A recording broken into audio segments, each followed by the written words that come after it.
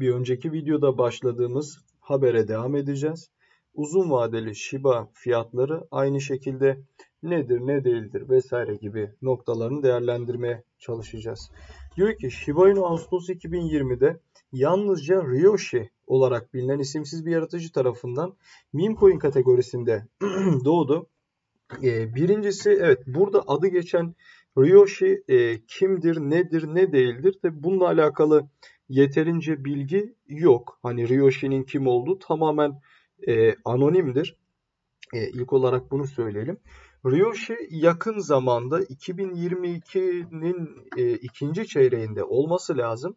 İşte bir seneden biraz fazla olmuş yani yakın bir zamanda. O da o minvalde projeden tamamen ayrıldığını duyurdu ve bu saatten sonra hiçbir şekilde e, Shiba Inu için bir şey yapmayacağını açıkladı. Projenin baş yöneticisi olarak da Kusama'nın bulunduğunu dile getirdi. Ee, dediğim gibi Kusama, işte Ryoshi bunlar kimdir, ne değildir? Bunların sadece doğulu olduğu biliniyor ve çok büyük bir ihtimalle bunların Japon olduğu e, üzerine bilgiler var. Ama bunlar da kesin değil ama büyük bir ihtimalle Japonlar yani. E, ikinci bir diğer mesele meme coin meselesi. Ha, meme coin'e geçmeden önce de şunu söyleyeyim.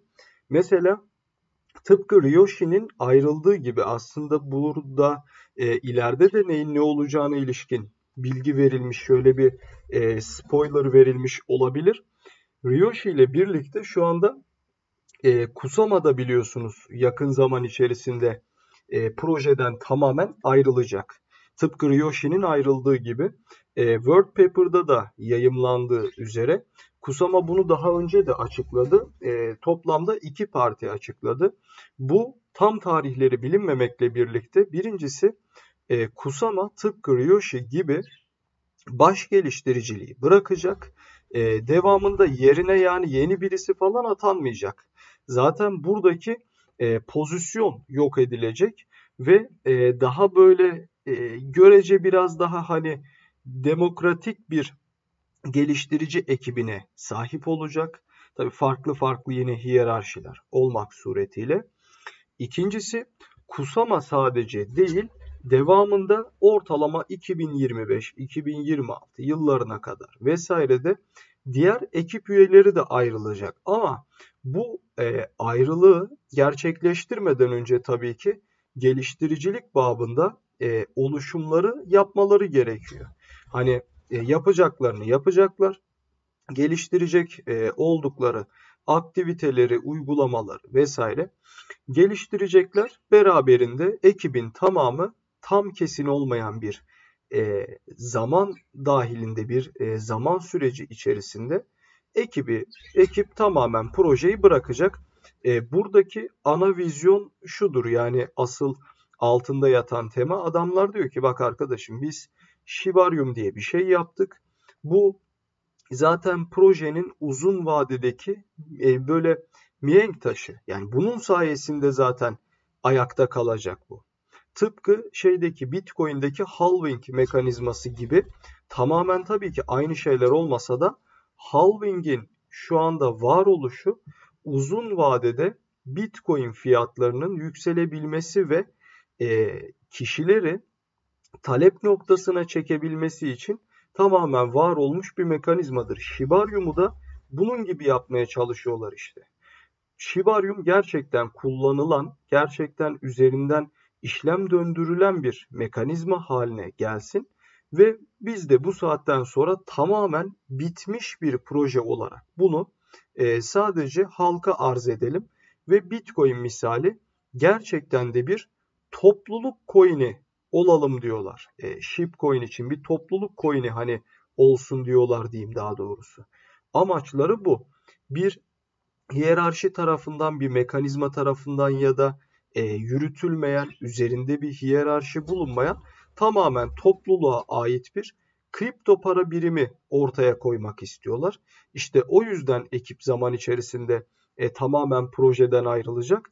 Tamamıyla işi bitirmeleri bekliyor. Yani tamamıyla işi bitirip ondan sonra e, projeden elini eteğini çekip ayrılmaları bekleniyor. Şey bu e, genel anlatı vesaire zaten bu. Bu kadar. Meme coin meselesine gelince e, Shipcoin daha doğrusu Dogecoin'den sonraki aslında hiçbir kripto para birimi, hiçbir meme coin aslında meme coin değildir. Bununla alakalı daha önce de konuştuk. Tabi işin felsefesi biraz daha ayrı bir boyutta ama e, şöyle Dogecoin'e meme coin denmesinin bir sebebi var. Ve Dogecoin'in e, bir meme coin olmasının. Dogecoin mesela şu anda Billy Marcus e, açıklama yaptığında şunu çok fazla duyarsınız. Bitcoin'i sevmiyor adam. Yani piyasayı sevmiyor Billy Marcus ve bunu açık açık söylüyor. Tabi içinden gelerek mi söylüyor, söylemiyor ben onu bilmem. Ama söylediği şey ve savunduğu şey bu. Kripto paraları sevmiyorum diyor adam.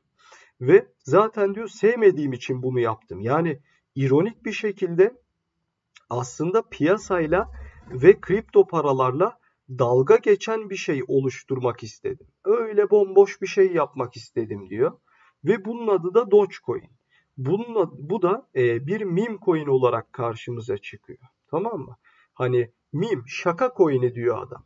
Aslında piyasayla dalga geçen ve ironik bir şekilde varoluşu bile e, piyasanın boş olduğuna delalet eden bir şey yapmak istedim diyor.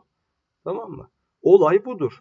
E şimdi diğerlerine gelelim. Mesela bir fayda coin'inin nasıl bir meme coin olduğunu söyleyebilirsiniz. İşin burada kategorize ederken tabii ki ne olduğuna bakıyoruz ya. Mesela bir fayda coin'i nasıl bir meme coin olabilir? Adam Shibarium üretiyor. Adam basbaya Katman 2 projesi üretiyor. Şimdi bu inovasyondur. Bu piyasadaki e, şeye, piyasadaki inovasyona katkı sağlamak anlamına gelir. Biz buna nasıl bir meme coin diyebiliriz ki e, piyasayla dalga geçen ve piyasadaki yükselişe e, inanmayan ya da piyasayı sevmeyen inovasyon yapan bir şey bir meme coin olamaz zaten. Arzı istiyorsa katrilyonlarca olsun. Buradaki ana felsefesi budur. Ben meme coin'im deyip de eğer zaten yine de bunu yapıyorsa yine de değildir. Burada bir e, tekrar ediyorum burada bir yanlışlık vardır. Fayda coin'i olan bir kripto para, bir meme coin zaten baştan bu bir meme coin olamaz. E, umarım anlatmak istediğim şeyi anlatabilmişimdir. Biraz uzun anlattım farkındayım ama e, daha önce de zaten doğru üzerine konuştuğumuz bir şey. Ama yine de e, bunun üstünden şöyle bir e, geçerek konuya ilişkin bilgi vermek istedim. Diğer meme coinler de aynı şekilde. İzlediğiniz için teşekkür ediyorum. Abone olup videoyu da beğenebilirsiniz. Bol kazançlar dilerim herkese. Hoşçakalın.